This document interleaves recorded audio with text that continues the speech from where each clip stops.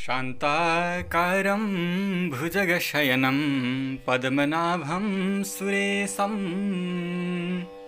विश्वाधारं गगनसदृशं मेघवर्णं शुभाङ्गम् लक्ष्मीकान्तं कमलनयनं योगिभिर्ध्यानगम्यम् वन्दे विष्णुं भवभयहरं सर्वलोकैकनाथम्। अथ हरिशयनि एकादशी माहात्म्यं। युधिष्ठिर उवाच आषाढस्य सिते पक्षे किं नामैकादशी भवेत्? को देवः को विधिस्तस्य? एतदाख्याहि सब श्रीकृष्ण उवाच। कथयामि महीपाल कथामाश्चर्यकारिणीं कथयामासयां ब्रह्मा नारदाय महात्मने। नारद उवाच कथयस्व प्रसादेन विष्णोराराधनाय मे आषाढशुक्लपक्षे तु किं नामैकादशी भवेत् ब्रह्मोवाच वैष्णवोऽसि मुनिश्रेष्ठ साधुपृष्ठं कलिप्रिय। नातः परतरं लोके पवित्रं हरिवासरात्। कर्तव्यं तु प्रयत्नेन सर्वपापापनुतये। तस्मात् तेऽहं प्रवक्ष्यामि शुक्ल एकादशी व्रतम् एकादश्या व्रतं पुण्यं पापग्नं सर्वकामदं। न कृतं यैर्नरैर्लोके ते नरा नरयैषिणः। पद्मानामेति विख्याता शुचौ एकादशी सिता। ऋषिकेशप्रीदितये तु कर्तव्यं व्रतमुत्तमं। कथयामि तवाग्रेहम् कथां पौराणिकीं शुभां। यस्या श्रवणमात्रेण महापापं प्रणश्यति मान्धाता नाम राजर्षिर्विवस्वद्वंशसम्भव। बभूव चक्रवर्ती स सत्यसन्धः प्रतापवान्। धर्मतः पालयामास प्रजापुत्राणि बहुरसान् न तस्य राज्ये दुर्भिक्षं व्याधयो व्याधयस्तथा। न तस्य राज्यदुर्भिक्षं नाधयो व्याधयस्तथा। निरातङ्का प्रजास्तस्य धनधान्यसमन्विता नान्यायोपार्जितं द्रव्यं कोशे तस्य महीपते। तस्यैवं कुर्वतो राज्यं बहुवर्षगणो गतः। अथ कदाचित् सम्प्राप्ते विपाके पापकर्मणः। वर्षत्रयं तद्विषये नववर्षबलाहकः। तेनोद्विग्ना प्रजास्तत्र बभूवुक्षुदयार्दिता स्वाहा स्वधावसटकार वेदाध्ययनवर्जिता। बभूवुर्विषयास्तस्य सस्याभावेन पीडिता। अथ प्रजा समागत्य राजानमिदमब्रुवन्। श्रूयतां वचनं राजन् प्रजानां हितकारकम्। आपो नारा इति प्रोक्ता पुराणेषु मनीषिभिः अयनं ता भगवतस्तेन नारायण स्मृतः। पर्जन्यरूपी भगवान् विष्णुर्सर्वगतः सदा। स एव कुरुते वृष्टि वृष्टेरन्नं ततः प्रजा। तदभावेन नृपते क्षयं गच्छन्ति वै प्रजा। तथा कुरु नृपश्रेष्ठ योगक्षेमो यथा भवेत् राजोवाच। सत्यमुक्तं च भवता न मिथ्याभिहितं वचः। अन्नं ब्रह्ममये प्रो मयं प्रोक्ता मन्ये सर्वं प्रतिष्ठितम्।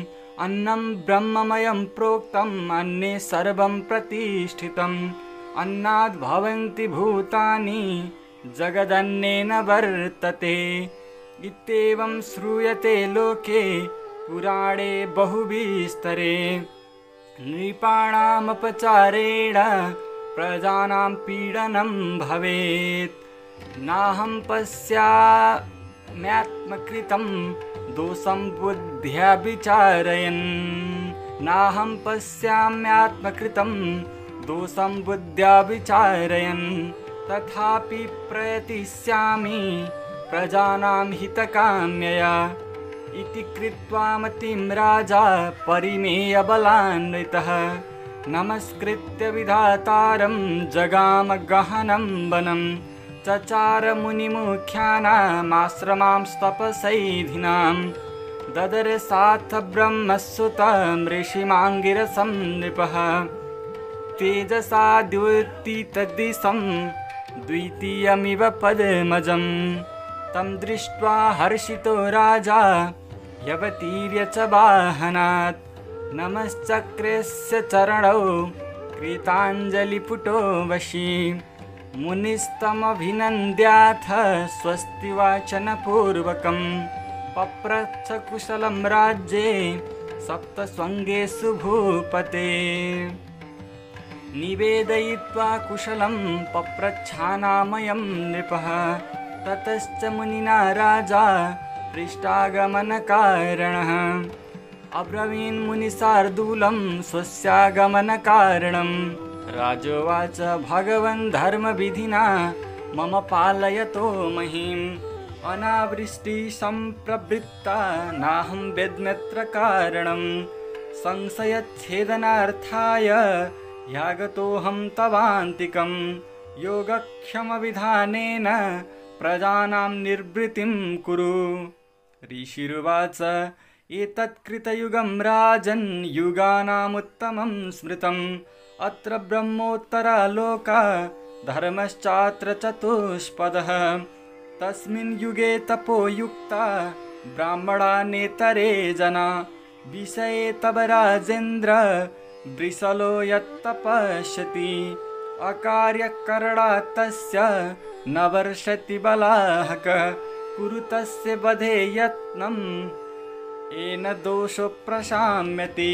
राजोवाच नाहमेनं वदिष्यामि तपस्यन्तमनागसं धर्मोपदेशं कथय उपसर्गविनाशनं। ऋषिरुवाच यद्देवं तर्हि नृपते कुरुष्वैकादशी व्रतं। शुचिमासे शुक्लपक्षे पद्मानामेति विश्रुता। तस्या व्रतप्रभावेण सुविष्टिर्भविता ध्रुवं सर्वसिद्धिप्रदा हे सा सर्वोपद्रवनाशिनी। अस्या व्रतं कुरु नृप सप्रजः सपरिच्छद। इति वाक्यं मुने श्रुत्वा राजा स्वगृहमागतः। आषाढमासे सम्प्राप्ते पद्माव्रतमथाकरोत्। प्रजाभिः सह सर्वाभिश्चातुर्वर्ण्यसमन्वितः एवं कृते व्रते राजन् प्रववर्षबलाहकः। जलेन प्लाविता भूमि रववत्सस्यशालिनी ऋषिकेशप्रसादेन जना सौख्यं प्रपेदिरे। एतस्मात् कारणादेव कर्तव्यं व्रतमुत्तमं भुक्तिमुक्तिप्रदं चैव लोकानां सुखदायकं पठनाच्छ्रवणादस्य सर्वपापैः प्रमुच्यते। इयमेकादशी राजन् शयनीत्यभिधीयते। विश्वप्रसादसिद्ध्यर्थमस्यां च शयनव्रतं। कर्तव्यं राजशार्दूल जनैर्मोक्षेच्छुभिः सदा। चातुर्मास्यव्रतारम्भो प्यस्यामेव विधीयते। युधिष्ठिर उवाच कथं कृष्णः प्रकर्तव्यं श्रीविश्वशयनव्रतं तद्ब्रूहि कृपया देव चतुर्मास्य व्रतानि च। श्रीकृष्ण उवाच शृणुपार्थ प्रवक्ष्यामि गोविन्दशयनव्रतं चातुर्मास्य चयान् युक्तान् या संस्थानि व्रतानि च। कर्करासि गते सूर्ये शुचौ शुक्ले तु पाक्षके एकादश्यां जगन्नाथं स्वापयन् मधुसूदनं। तुलाराशिस्थिते तस्मिन् पुनरुत्थापये धरिम्। अधिमासेऽपि पतित एष एव विधिक्रमात्। नान्यदा स्वापयद् स्वापयेद्देवं तथैवोत्थापये धरिं नान्यदा स्वापयद्देवं तथैवोत्थापये धरिम् आषाढस्य शिते पक्षे एकादश्यामुपोषितः। चातुर्मास्यव्रतानां तु कुर्वीतपरिकल्पनम् एवं च प्रतिमां विश्वो स्थापयित्वा युधिष्ठिर। स्नापयेत् प्रतिमां विश्वो शङ्खचक्रगदाधरं पीताम्बरधरां सौम्यं पर्यङ्के वैसिते शुभे शीतवस्त्रसमाच्छन्ये सोपधाने युधिष्ठिर। इतिहासपुराणज्ञो ब्राह्मणो वेदपारगः स्नापयित्वा दधिक्षीर घृतक्षौद्रसितादिभिः। समालेप्य शुभैर्गन्धैर्धूपैर्दीपैश्च भूरिशः पूजयेत् कुसुमैस्तस्थैर्मन्त्रेणानेन पाण्डव सायितस्त्वं ऋषिकेश पूजयित्वा श्रिया सह। प्रसादं कुरु देवे स लक्ष्म्या सह जनार्दन। सुप्ते त्वयि जगन्नाथ जगत्सुप्तं चराचरम्। एवं तां प्रतिमां विश्वो स्थापयित्वा युधिष्ठिर। तस्या एवाग्रतस्थित्वा गृह्यान्नियमान्नरः चतुरो वार्षिकान् मासान् देवस्योत्थापनावधि। प्रातसन्ध्यादिकं सर्वं नित्यं कर्म समाप्य च ग्रहीष्ये नियमान् क्षुद्धान् निर्विघ्नान् कुरु मे प्रभो। इति सम्प्रार्थ्य देवेशं प्रह्वः संशुद्धमानसः। स्त्री वा नरो वा मद्भक्तो धर्मार्थं च धृतव्रतः। गृह्णीयान्यमानेतान् दन्तधावनपूर्वकं व्रतप्रारम्भकालास्तु प्रोक्ता पञ्चैव भीषुना। उपक्रमं चतुर्मास व्रतानां च नरशुचौ एकादशी द्वादशी च पूर्णिमा च तथाष्टमी। कर्कटा चैव सङ्क्रान्तिस्तासु कुर्याद्यथाविधि चतुर्धा गृह्य वै चीर्णं चतुर्मास्य व्रतं नरः। कार्तिके शुक्लपक्षे तु द्वादश्यां तत्समापयेत्। तेषां फलानि वक्ष्यामि कर्तॄणां मे पृथक् पृथक्। आषाढे शुक्लपक्षे तु एकादश्यामुपोषितः। चातुर्मास्य व्रतं कुर्यात् यत्किञ्चिद्दबनीपते नान्यथा चाब्दिकं पापं विनिहन्ति प्रयत्नतः। शैशवं चैव मौढ्यं च शुक्रगुरुवोर्नबार्धकं खण्डत्वे नित्य एत्यादौ।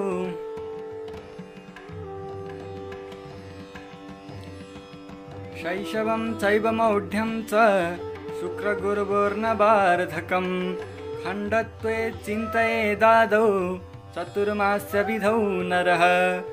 खण्डाङ्गव्यापि मार्तण्डा यद्य खण्डा भवेतिथि। अशुचिर्वा शुचिर्वापि यदि स्त्रो यदि स्त्री यदि वा पुमान्। व्रतमेकं नरः कृत्वा मुच्यते सर्वपातकै। असङ्क्रान्तं तथा मासं देवे पित्रे च कर्मणि असङ्क्रान्तं तथा मासं दैवे पित्रे च कर्मणि मलरूपमशौचं च वर्जयन्मतिमान् नरः प्रतिवर्षं तु यः कुर्याद् व्रतं वै संस्मरन् हरिं।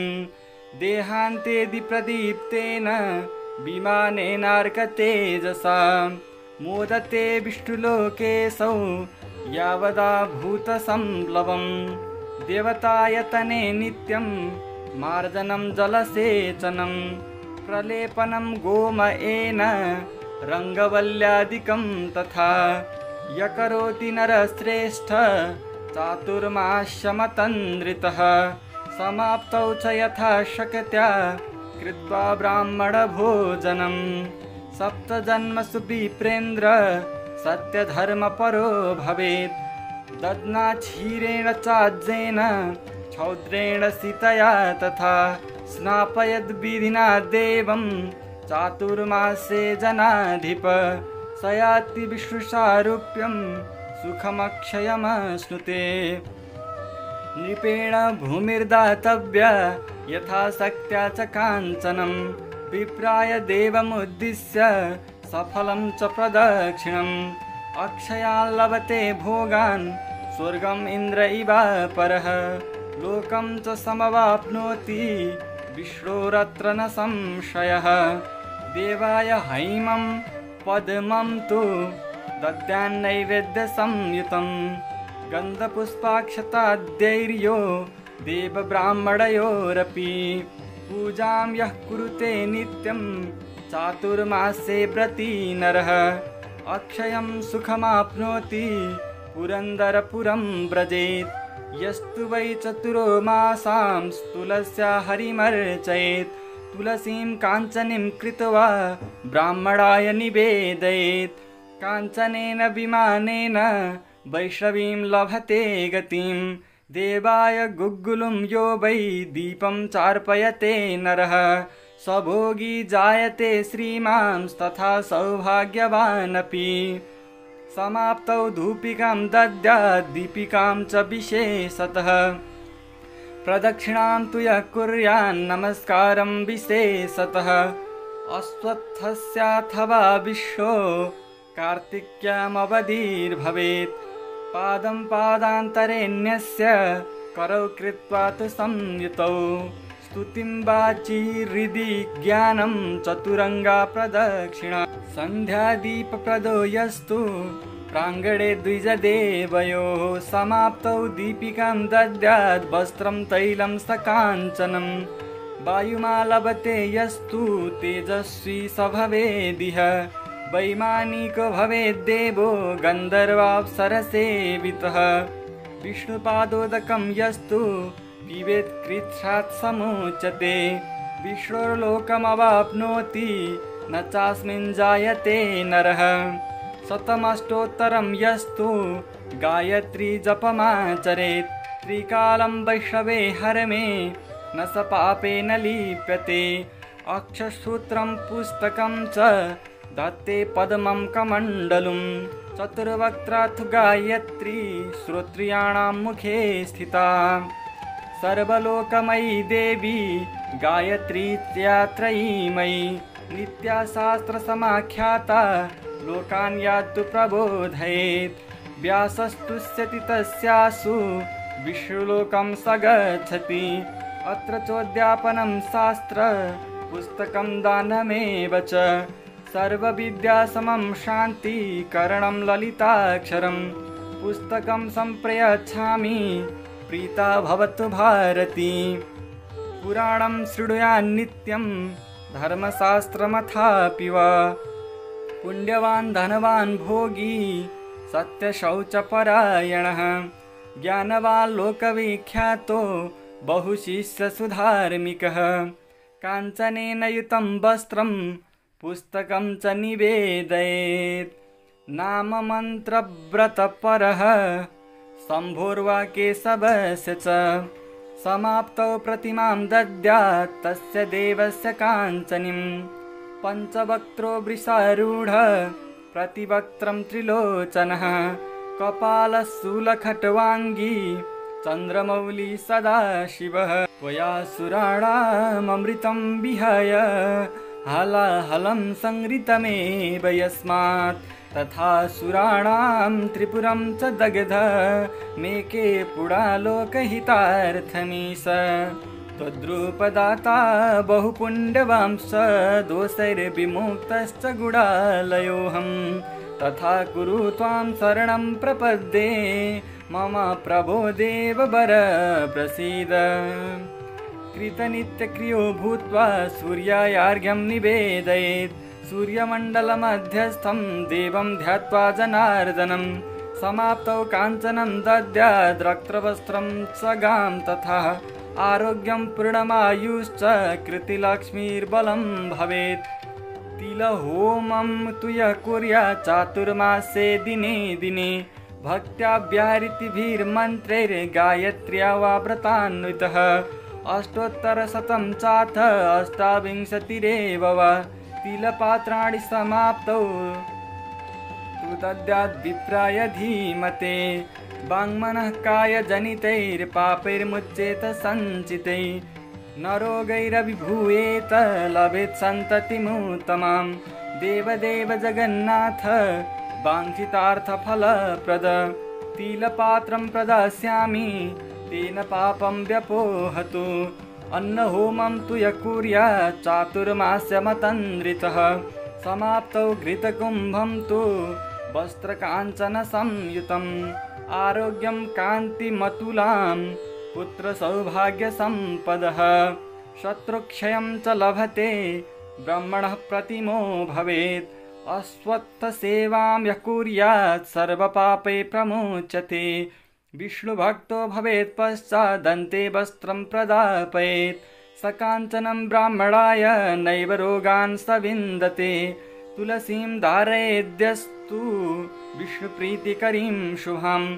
विष्णुलोकमवाप्नोति सर्वपापै प्रमोचते। ब्राह्मणान् भोजयेत् पश्चात् विष्णुमुद्दिश्य पाण्डव। यस्तु सुप्ते ऋषिकेशे दुर्वाममृतसम्भवां सदा प्रातर्वहेन्मूर्ध्नि शुद्धात्मा चरितु द्वये मन्त्रेणानेन राजेन्द्र लक्ष्मीनाथस्य तुष्टये त्वं दुर्वे मृतजन्मासि बन्दितासि सुरासुरे।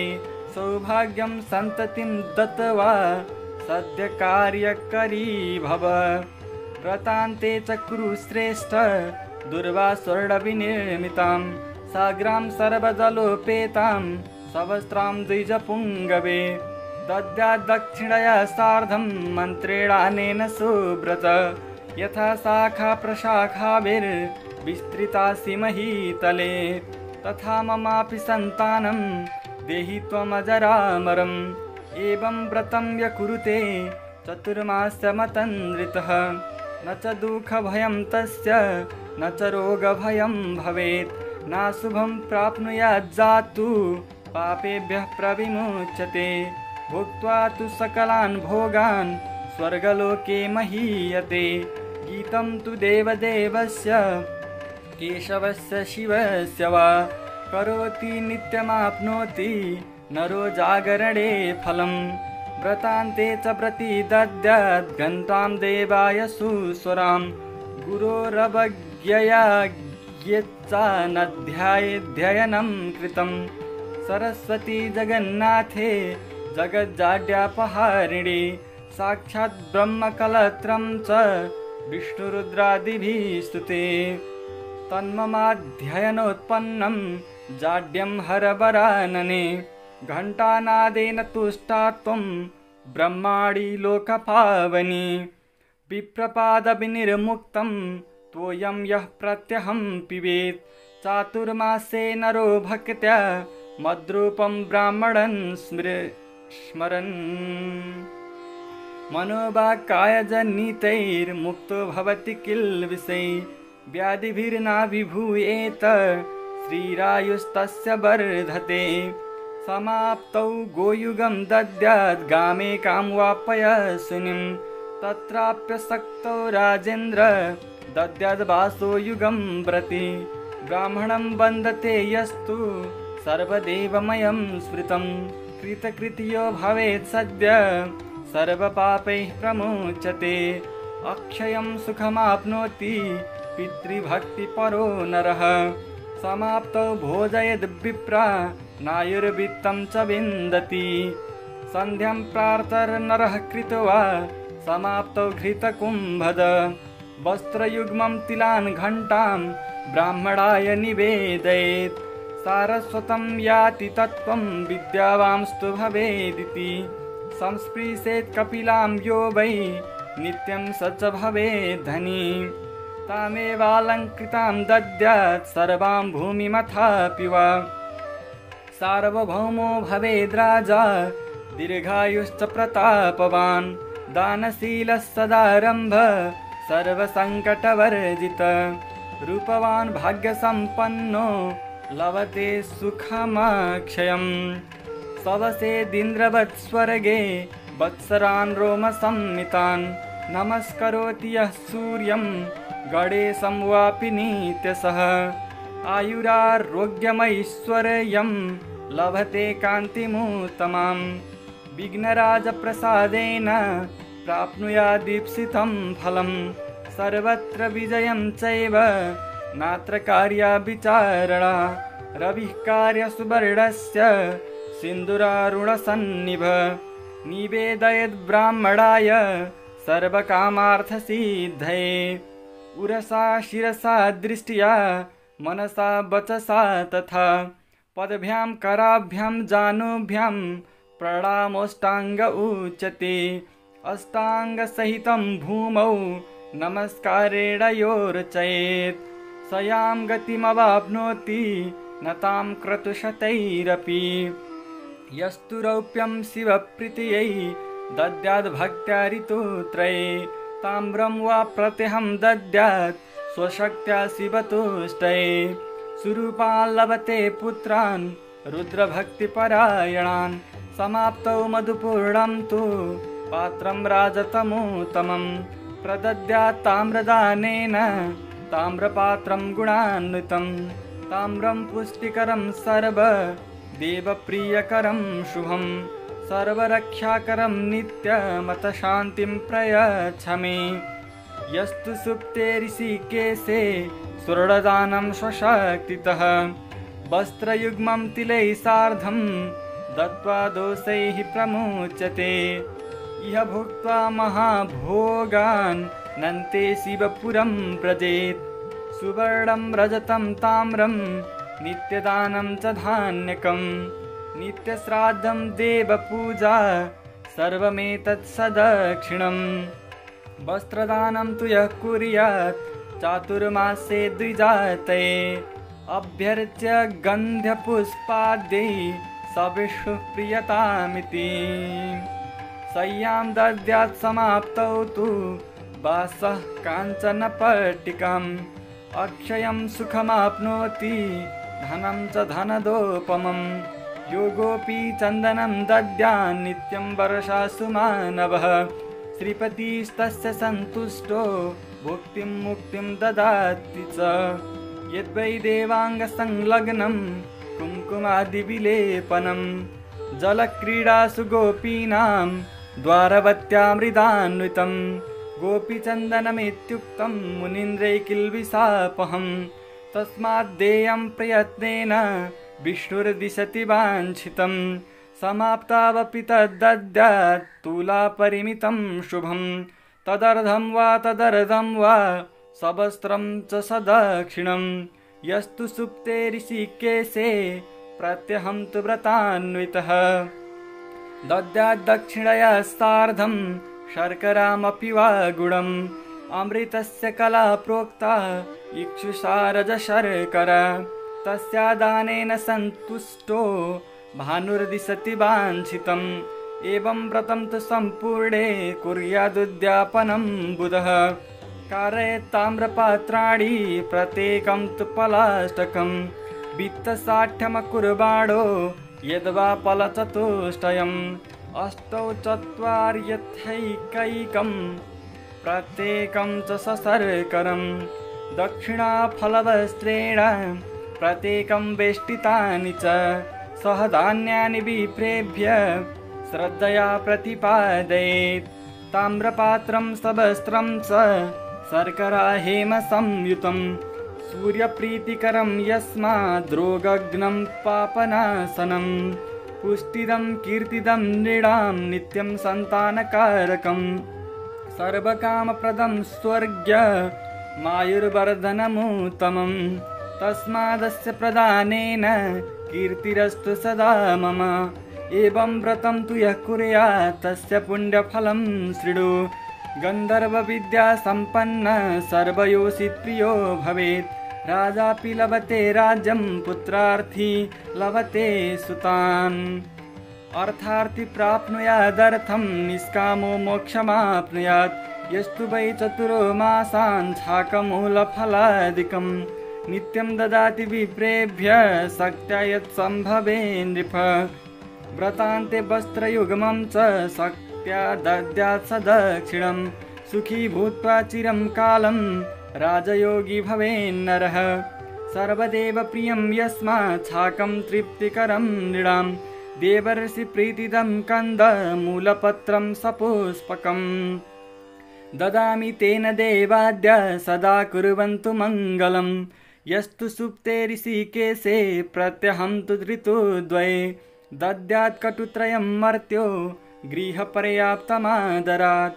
ब्राह्मणाय सुशीलाय दिने सप्रीतये नघ दक्षिणासहितं विप्राय मन्त्रेणानेन सुव्रत।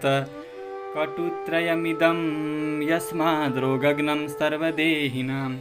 तस्मादस्य प्रदानेन प्रीतो भवतु भास्कर।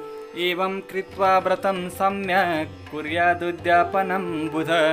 कृत्वा स्वर्णमयीं शुण्डिं मरीचं मागधीमपि सवस्त्रां दक्षिणायुक्तां दद्याद्विप्राय धीमते। एवं व्रतं य कुरुते सजीवेच्छरदां शतं प्राप्नुयादीप्सितान् अर्थानन्ते स्वर्गं व्रजेदिति। मुक्ताफलानि यो दद्यान् विप्राय सन्मति।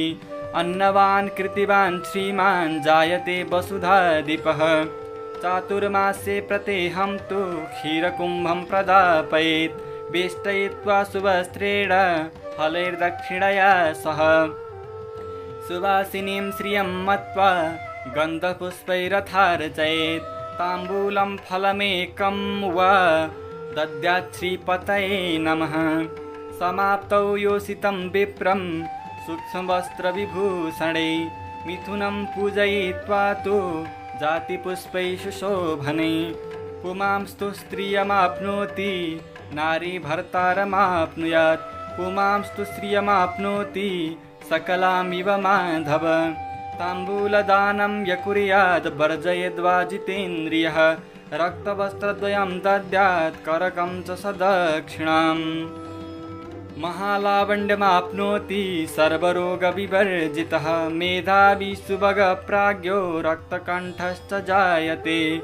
गन्धर्वत्वमवाप्नोति स्वर्गलोकं च गच्छति। ताम्बूलं, श्रीकरं, भद्रं ब्रह्मविष्णुशिवात्मकम् अस्य प्रतानाद् ब्रह्माद्या श्रियं ददतु पुष्कलां। पुगे ब्रह्मा हरिपत्रे चूर्णे साक्षान्महेश्वरः एतेषां सम्प्रदानेन सन्तु मे भाग्यसम्पदः। पूरितं पुगचूर्णेन नागवल्लिदलान्वितं सचूर्णं खादिरं चैव पत्रीफलसमन्वितम् एलालवङ्गसम्मिश्रं गन्धर्वाप्सरसां प्रियं। कनकाढ्यं निरातङ्कं त्वं प्रसादात् कुरु स्वमां। चातुर्मास्य व्रतोपेतः सुवासिन्यै द्विजाय च नारी वा पुरुषो वापि हरिद्रां सम्प्रयच्छति। लक्ष्मीमुद्दिश्य गौरीं वा तत्पात्रे दक्षिणान्वितम् प्रदद्यात् भक्तिसंयुक्तं, देवी मे प्रियतामिति। वार्त्रा सह सुखं भुङ्क्ते, नारी नार्या तथा पुमान्। सौभाग्यमक्षयं धान्यं धनपुत्रसमुन्नतिं सम्प्राप्य रूपलावण्डे देवी लोके महीयते। उमामहेशमुद्दिश्य चातुर्मास्य दिने दिने।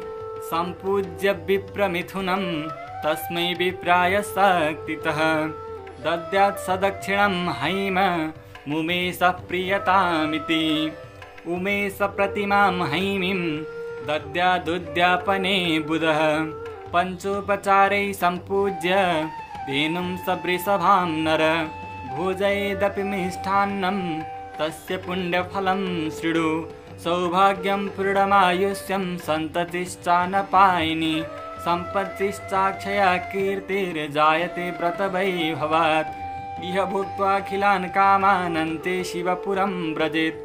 तत्र स्थित्वा चिरं कालमुपभुज्य सुखं महत्। पुण्यशेषादिहागत्य जायते धरणीपते फलदानं तु यः कुर्यात् चातुर्मासमतन्द्रितः।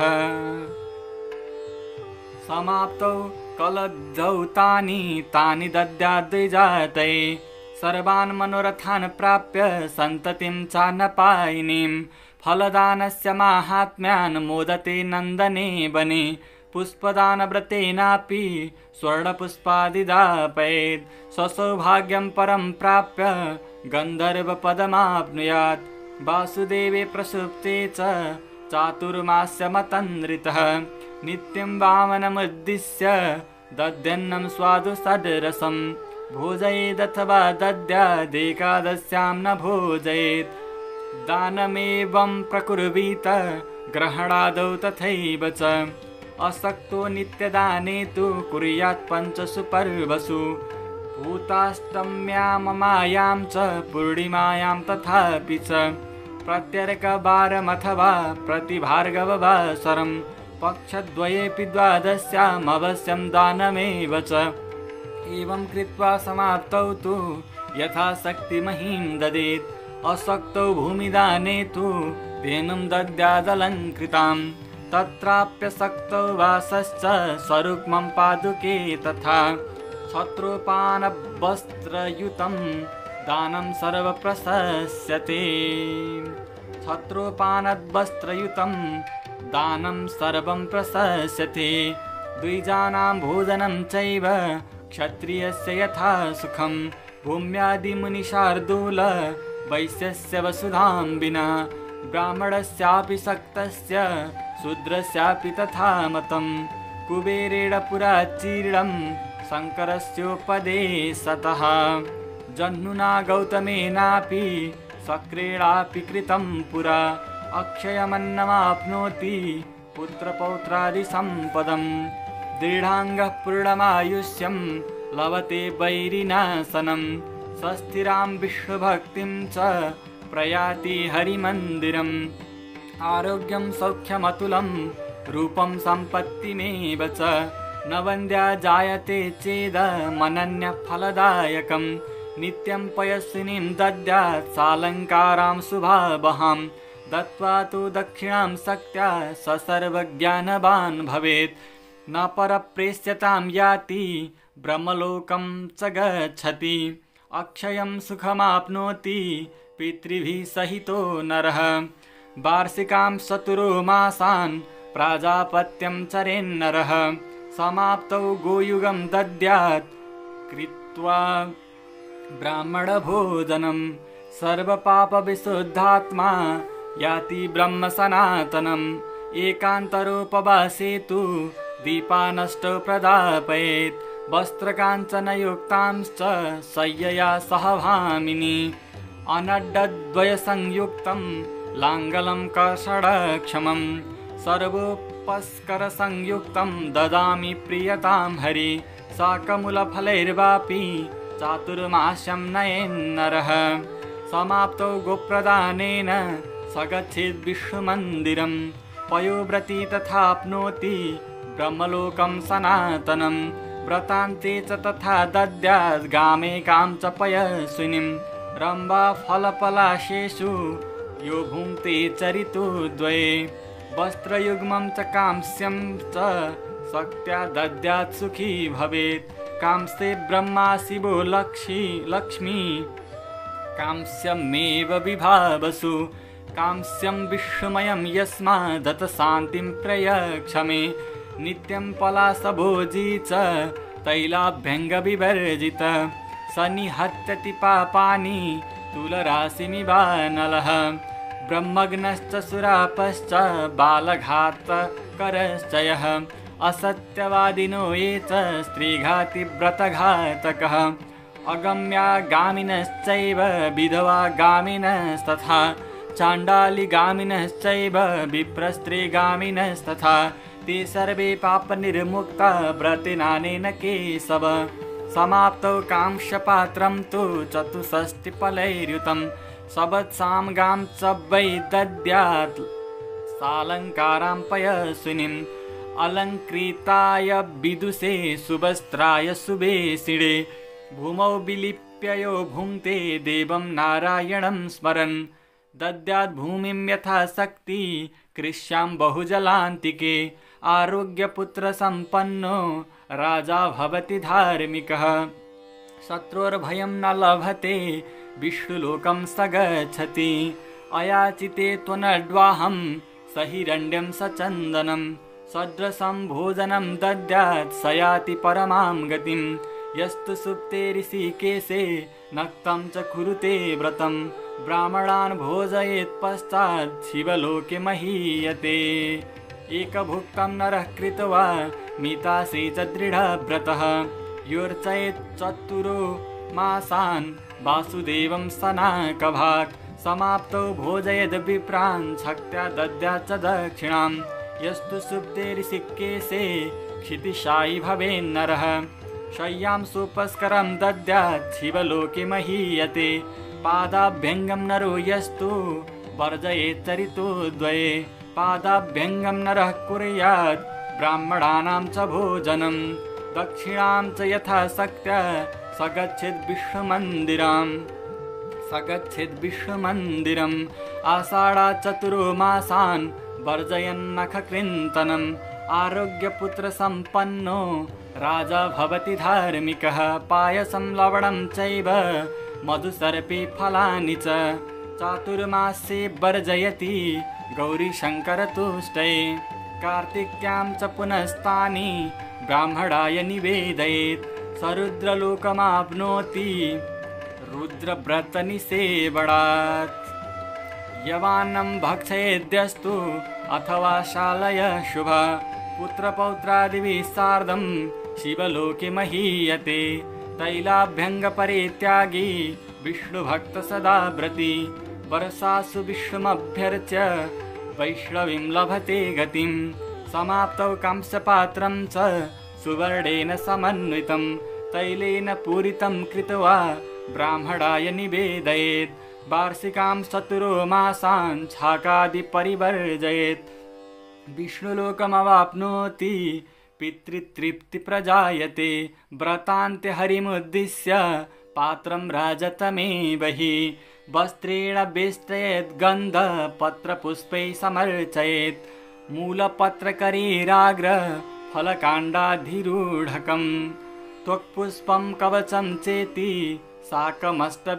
स्मृतं समभ्यर्चयथा शक्त्या ब्राह्मणान् वेदपारगान् दद्या दक्षिणया सार्धं व्रतसम्पूर्णहेतवे शिवसायुज्यमाप्नोति प्रसादाञ्छुलपाणिनः। अपूपवर्जनं कृत्वा भोजनं व्रतमाचरेत् कार्तिके स्वर्णगोधूमान् वस्त्रं दत्त्वा स्वमेधकृत् गोधूमा सर्वजन्तूनां बलपुष्टिविवर्धना।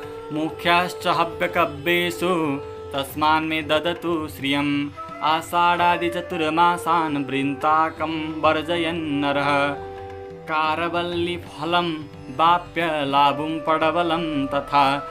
यद्वा तद्वा फलं वापि यच्च प्रियतमं भवेत्। चातुर्मासे ततो वृते रौप्याडेतानि कारयेत्। मध्ये विद्रुमयुक्तानि ह्यर्चयित्वा तु शक्तितः।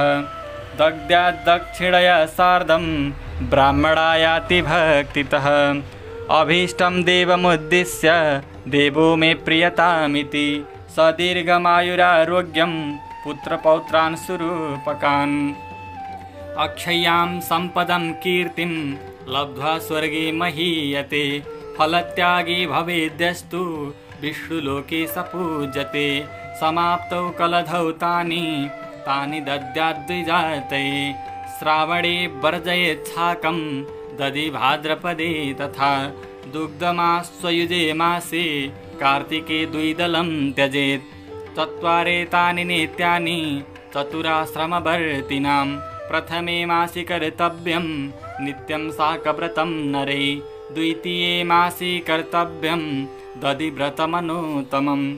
पयोव्रतं तृतीये तु चतुर्थे द्विदलं तथा। कुष्माण्डं राजमासांश्च। मूलकं गृञ्जनं तथा। करमर्दं चेक्षुदण्डं। चातुर्मासे त्यजेन्नरः। मसूरं बहुबीजं वृन्ताकं चैव वर्जयेत् नित्यानेतानि बिप्रेन्द्र व्रतान्याहुर्मनीषिणः विशेषाद्बदरीं धात्री मलाबुं चिञ्चिडीं त्यजेत्। जीर्णं धातृफलं ग्राह्यं जीर्णाग्राह्या च चिञ्चिडी। वार्षिकां चतुरो मासान् प्रसुप्ति च जनार्दने। मञ्चखट्वादिशयनं वर्जयेद् भक्तिमान् नरः। अनृतौ वर्जयेद् भार्या मृतौ गच्छन्न दुष्यति मधुबेलिं च शीघ्रं च चातुर्मासे त्यजेन्नरः वृन्ताकं च कलिङ्गं च बिल्वदुम्बरभिसटाः। उदरे यस्य जिर्यन्ते तस्य दूरतरो हरि। उपवासस्तथा नक्त मेकभुक्तमयाचितम्। असक्तस्तु यथा कुर्यात् सायं प्रातरखण्डितं स्नानपूजादिसंयुक्त स नरो हरिलोकभाक् गीतवाद्यकरो विशोर्गान्धर्वं लोकमाप्नुयात्। मधुभुक् च भवेद्राजा पुरुषो गुणवर्जनात्। लभेत् सन्ततिं दीर्घां, पुत्रपौद्रादिवर्धिनीं। तैलस्य वर्जनाद्राजन्, सुन्दराङ्गः प्रजायते। कौस्तुभ तैलसन्त्यागात् शत्रुना समवाप्नुयात् मधुकतैलत्यागात् च सुसौभाग्यफलं लभेत्। कटुतिक्तं च मधुरं कषाय लवणान् रसान्। वर्जयत् स च वैरूप्यं दौर्गन्ध्यं नाप्नुयात् सदा। पुष्पादिभोगत्यागेन स्वर्गे विद्याधरो भवेत्। योगाभ्यासी भवेद्यस्तु सब्रह्मपदमी पदवीमियात्। ताम्बूलव्रजनाद्रोगी सद्यो मुक्तामयो भवेत्। पादाभ्यङ्गपरित्यागात् क्षीरोभ्यङ्गस्य पार्थिव। दीप्तिमान् दीप्तकरणो यक्षद्रव्यपतिर्भवेत्। दधिदुग्धपरित्यागी गोलोकं लभते नरः। इन्द्रलोकमवाप्नोति स्थालिपाकविवर्जनात् एकान्तरोपवासेन ब्रह्मलोकी महीयते। चतुरो वार्षिकान् मासान् नखरो माडिधारयेत्। कल्पस्थायी भवेद्राजन् स नरो नात्र संशयः। नमो नारायणायेति जपित्वानन्तकं फलं विष्णुपादाम्बुजस्पर्शात् कृतकृत्यो भवेन्नरः लक्षप्रदक्षिणा यस्तु करोति हरिमन्दिरे। अंशयुक्तविमानेन स याति वैष्णवीं पुरीं। त्रिरात्रभोजनत्यागान् मोदते दिवि देववत्। परान्नव्रजनाद्राजन् देवौ वै मानुषो भवेत्। प्राजापत्यं चरेद्यो वै चातुर्मास्यव्रतान्नरः मुच्यते पातकैः सर्वैः स्त्रीवीर् भैर्नात्र संशयः मुच्यते पातकैः सर्वैः स्त्रीवीर्धायैर्नात्र संशयः तप्तकृच्छात्कृच्छाभ्यां यक्षिपेच्छयनं हरे। स याति परमं स्थानं पुनरावृत्तिवर्जितं। चान्द्रायणेनयो राजन् क्षिपेन्मासचतुष्टयं दिव्यदेहो भवेत् सोऽथ शिवलोकं च गच्छति। चातुर्मासे नरो यो वै त्यजेदन्नादिभक्षणं स गच्छेद्धरि सायुज्यं न भूयस्तु प्रजायते। भिक्षाभोगी नरो यो हि स भवेद्वेदपारगः पयोव्रतेनयो राजन् क्षिपेन्मासचतुष्टयं तस्य वंशसमुच्छेद कदाचिन्नोपपद्यते। पञ्चगव्यासनः पार्थ चान्द्रायणफलं लभेत् दीनत्रयं जलत्यागान्नरोगैरभिभूयते एवमादिव्रतै पार्थ तुष्टिमायाति केशवः दुग्धाब्दिबीचिशयने भगवानन्तो यस्मिन् दिने स्वपिति चाथ विबुध्यते च। तस्मिन्ननन्य मनसामुपवासभाजां पुंसां ददाति च गतिं गरुडासनोऽसौ। जय जय श्रीभविष्योत्तरपुराणे विश्वसैन्यैकादशी चातुर्मासमहात्म्यं सम्पूर्णम्। ॐ नमो नारायणाय